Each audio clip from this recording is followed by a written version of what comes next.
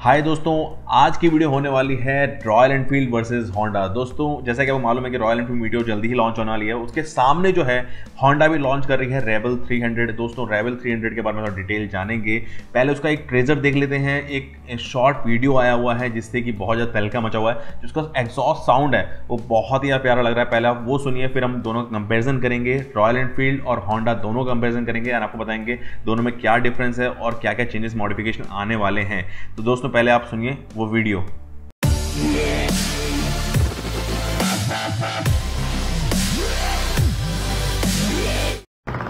Your Highness is arriving soon. Get ready for the roar of the Highness.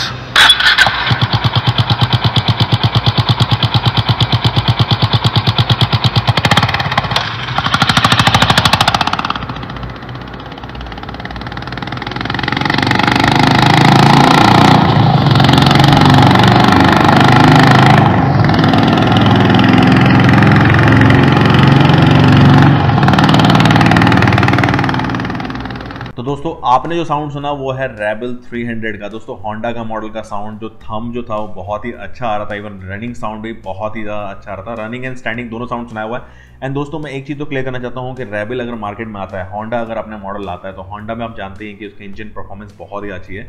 Even जो ये model है already US में USA में चल रहा है। उसके बाद इंडिया में तीस तारीख को अनाउंस कर दिया है कि लॉन्च होगा। तीस सितंबर में लॉन्च होने वाला है। एंड दोस्तों, अगर ये लॉन्च होता है तो एक और नया एड ऑन होगा मार्केट के लिए। क्रूज़र में जैसे कि हम मालूम है इंडिया में क्रूज़र के क्रूज़र के मॉडल्स जो हैं वो बहुत ज़्यादा कम है। जब क्रूज़र कॉन्सेप्ट की बाइक जब सर्च करते हैं ना तो बहुत ही कम और रेयर ऑप्शन ही दिखते हैं। ज़्यादा आपको रॉयल एनफील्ड ही दिखाई देगा। Eighty five percent three hundred C C to five hundred C C में ना, सिर्फ़ रॉयल एनफील्ड नहीं लिया हुआ एटी फाइव परसेंट तो दोस्तों, नए ऑप्शन जो है क्रिएट हो रहे हैं, नए फीचर मॉडल जो है आपको आ रहे हैं। तो जल्दी से पहले देख लेते हैं रेबल 300 के फीचर्स डिटेल इंजन परफॉर्मेंस के बारे में।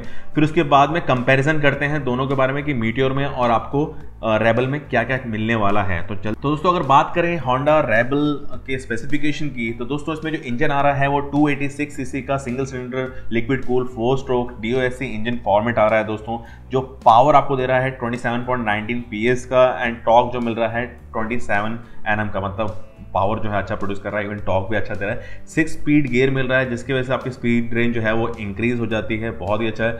एंड दोस्तों फ्रेम जो है आपको डबल ग्रेडल फ्रेम्स मिलने वाले हैं आपको। इसमें सस्पेंशन में फ्रंट में आपको मिलने वाला है। फोर्टी वन एम का फ्रोक्स एंड जो रेयर मिला रहा है ट्विन शॉक अब्जॉर्वर मिलने वाला है। डुअल चैनल एबीएस जो है इसमें इक्विप्ड है। दोस्तों, अगर फ्रंट एंड रेयर टायर की बात की जाए तो ब्रॉड टायर्स आपको मिल रहे हैं। फ्रंट में आपको 130 बाई 90 बाई 16 का टायर मिल रहा है एंड रेयर में 150 बाई 80 बाई 16 का टायर आपको मिल जाएगा। मतलब टायर जो है ब्रॉड है इट मीन्स आपको ग्रिपिंग का प्रॉब्लम बिल्कुल भी नहीं आ रहा है। अगर बात करी जाए ग्राउंड क्लियरेंस की तो 150 फिफ्टी mm की ग्राउंड क्लियरेंस है। फ्यूल टैंक कैपेसिटी की बात की जाए तो 11.2 लीटर्स का है। सिटिंग हाइट जो इंपॉर्टेंट है दोस्तों, हर राइडर्स को चाहिए। अगर आपकी हाइट अगर 4.95 भी है तो भी आप इस बाइक को ईजिली राइड कर सकते हैं बिकॉज़ का सेटिंग हाइट जो है 690 mm का है दोस्तों। और जो दो, दोस्तों इस ओवरऑल जो वेट है इस बाइक का वो भी 170 केजी के आसपास का है। दोस्तों इसमें तीन कलर ऑप्शन मिल जाते हैं डिजिटल डिस्प्ले आपको मिल जाता है और बहुत सारी एसेसरीज जो हैं कंपनी के थ्रू ही आपको मिल रही हैं, जो क्रूज़र में आपको क्रूज़ जब करते हैं हाईवे आप राइड करते हैं तो आपको बहुत सारे जो जो एसेसरीज हैं, वो कंपनी की तरफ़ से ही मिल जाएँगे। तो अब हम जान लेते हैं दोस्तों मीटियर के बारे में, फिर हम कंपेयर करेंगे। दोस्तों, अगर बात की जाए मीटियोर की टेक्निकल स्पेसिफिकेशन की, दोस्तों, सामने आपके सारे डिटेल्स हैं। टैंक कैपेसिटी जो है 15 लीटर्स की मिल रही है। इंजन जो है 349 सीसी का single cylinder four stroke air oil cool engine मिल रहा है आपको। 20.2 bhp का पावर प्रोड्यूस कर रहा है 6100 आरपीएम पे। एंड दोस्तों मैक्सिमम टॉक जो मिल रहा है 27 एनएम का 4000 आरपीएम मिल रहा है। फ्रंट एंड रेयर में डिस्क ब्रेक आपको मिल रहा है। एंड दोस्तों अलॉयविल एंड ट्यूबलेस भी साथ में मिल रहा है आपको। अगर फ्रंट की चौड़ाई की बात की जाए टायर की तो 100 बाई 90 बाई 19 का है। एंड रेयर में जो है 140 बाई 70 बाई 17 का है। तो ये भी अच्छे खासा ब्रॉड टायर्स आपको मिल रहे हैं।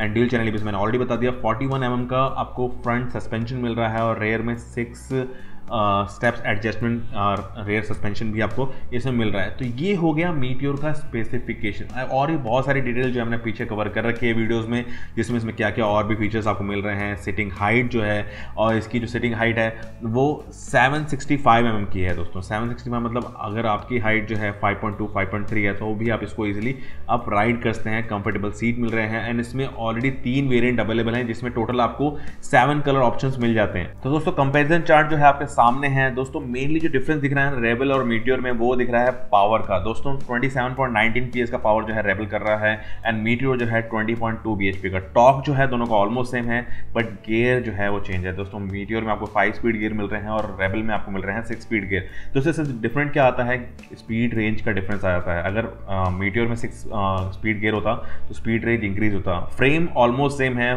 सस्पेंशन भी ऑलमोस्ट सेम हम कह सकते हैं। एंड दोस्तों टायर डिस्क ब्रेक्स जो हैं वो भी डिस्क ब्रेक साइज़ जो है, वो भी चेंज है. इवन मीटियोर में अच्छे ब्रेकिंग मिल रहे हैं, मगर टायर साइज़ में भी डिफरेंस मिलेगा. जो मीटियोर में जो आपको टायर मिल रहे हैं ना, वो पतले टायर्स मिल रहे हैं दोस्तों. एंड व्हील बेस में भी ज़्यादा डिफरेंस नहीं कहेंगे थोड़ा बहुत ही डिफरेंस है. जो रेबल है, वो थोड़ा सा लॉन्ग साइज़ में आपको मिलेगी. ग्राउंड क्लियरेंस जो है रेबल का कम है मीटियोर का आपको ज़्यादा मिलेगा. 170 सेवेंटी mm का मिलेगा. फ्यूल टैंक कैपेसिटी भी आपको मीटियोर का अच्छा मिल रहा है दोस्तों। 15 15 लीटर्स का मिल रहा है। सिटिंग हाइट में जो है, जो क्रूजर हाइट जो होती है वो शॉर्ट ही होनी चाहिए शॉर्ट राइडर्स भी इजीली राइड कर सकें। फुट पैक्स आगे की तरफ़ भी मिलेंगे दोनों में ही आपको। बट इसमें जो सिटिंग हाइट है, जो ऊपर है, वो मीटियोर की आपको मिल रही है। वेट में जो हैवी है वेट अभी पूरा टोटली क्लियर नहीं है। वन एट्टी के आसपास में अप्रॉक्स कहा जा रहा है। बट ये अनऑफिशियल है ऑफिशियली नहीं डिक्लेयर किया गया है मीटियोर का। तो वेट में हैवी मिलेगी आपको एंड कलर ऑप्शंस जो होंगे, वो भी आपको मीटियोर में ज़्यादा मिलने वाले हैं। दोनों ही बाइक में ड्यूल चैनल एबीएस मिलेगा। एंड दोस्तों, आपको जो रेबल में मिल रहा है, वो आपको मिलेगा डिजिटल डिस्प्ले जिसको बोलते हैं इंस्ट्रूमेंट क्लस्टर बट मीटियोर में आपको मिल रहा है सेमी डिजिटल इंस्ट्रूमेंट क्लस्टर जिसमें आपको एनालॉग और डिजिटल का एक कॉम्बिनेशन मिल रहा है। दोस्तों, आपने बेसिक डिफरेंस देख लिया कि कई जगह पे मीटियोर बहुत अच्छा है और कई जगह पे रेबल जो है होंडा का, वो बहुत अच्छा है।